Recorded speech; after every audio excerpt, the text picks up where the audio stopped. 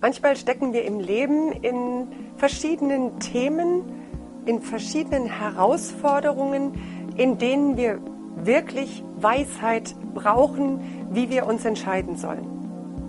Da gibt es im familiären Bereich Entscheidungen, die getroffen werden sollen. Da gibt es berufliche Herausforderungen und Entscheidungen. Da gibt es in ganz, ganz, ganz unterschiedlichen, verschiedenen Dingen einfach etwas, was uns herausfordert, einen nächsten Schritt zu tun. Und oft ist es so, dass wir sagen, ich weiß nicht, was ich da machen soll. In der Bibel hat mich eine Geschichte sehr beeindruckt. Da wird uns von Esra erzählt und dem König, dem Esra eigentlich unterstellt war. Dieser König war nicht an Gott gläubig, in dem Sinne, wie Esra es war. Und er sagt zu Esra eine ganz, ganz entscheidende Sache. Die möchte ich dir mal vorlesen. Du aber, Esra, setze nach der Weisheit deines Gottes, die in deiner Hand ist, Richter und Rechtspersonen ein, die die Gesetze deines Gottes kennen, und wer sie nicht kennt, dem sollt ihr sie mitteilen nach der Weisheit deines Gottes, die in deiner Hand ist. So sagt es der König. Das war ein Zeugnis, was dieser König über Esra hatte. Er hat in Esras Leben gesehen, dass da etwas war, was übernatürlich sein musste. Er hat etwas in Esras Leben gesehen, was ihn in einen Respekt gegenüber des Gottes Esras treten ließ.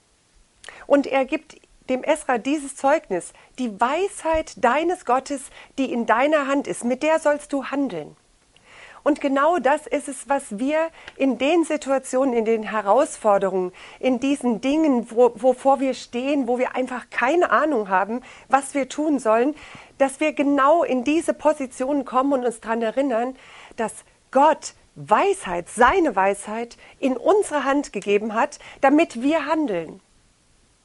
Wenn wir beten, wenn wir Gott bitten, dass er uns Weisheit schenkt, dann wird er uns diese Weisheit geben, denn das ist ein biblisches Prinzip, das ist eine Verheißung, die Gott uns in der Bibel gegeben hat. Wem Weisheit mangelt, der bitte Gott, der ihm reichlich geben will. In deinen Herausforderungen heute, in denen du stehst, ich möchte wirklich da Weisheit Gottes hineinsprechen. Weisheit Gottes ist in deiner Hand, dass du handeln sollst. Esra sollte handeln, indem er die Rechtsbestimmungen Gottes wieder aufrichten sollte und ja mehr noch, die Leute, die die Rechtsbestimmungen nicht kannten, denen sollten sie gesagt werden.